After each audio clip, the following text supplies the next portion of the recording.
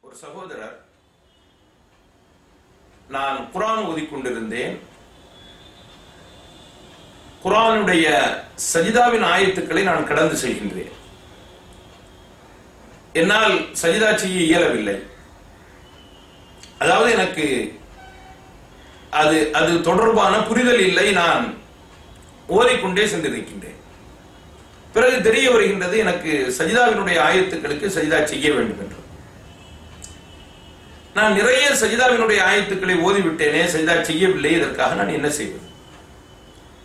சகோதரரே நீங்கள் சஜிதாவினுடைய ஆயத்துக்களில் ஓதாமல் சென்ற ஆயத்துக்களை பற்றி ஓதிவிட்டு சஜிதா செய்யாமல் சென்ற ஆயத்துக்களை பற்றி நீங்கள் குற்றம் பிடிக்கப்பட போவதில்லை. எப்பொழுது உங்களுக்கு தெரிய வந்து விட்டதோ சஜிதாவினுடைய ஆயத்துக்களை கடந்து செல்லும் பொழுது சஜிதா செய்ய வேண்டும் என்று நீங்கள் சஜிதா செய்ய வேண்டும். ஏன்?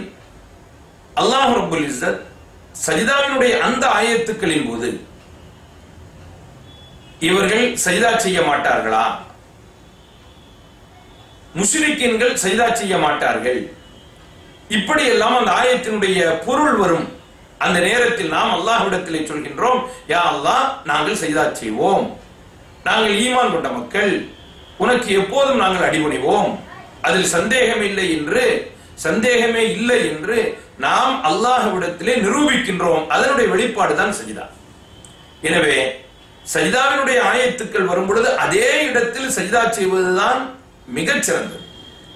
ஒரு சமயம் அப்படிப்பட்ட சூழ்நிலை உங்களுக்கு முடியாமல் போய்விட்டால் சஜிதாவினுடைய எண்ணிக்கைகளை நீங்கள் குறித்து வைத்துவிட்டு பிறகு சஜிதாவை செய்து விடுங்கள். அதுதான் சிறந்தது. ஆனால் அந்தந்த நேரத்தில் சஜிதாவை முடித்து விடுவதுதான் அல்லாஹிற்கு நாம் அடிபணிந்தோம் என்பதற்கு சரியான பொருள் கொடுக்கும் விதமாக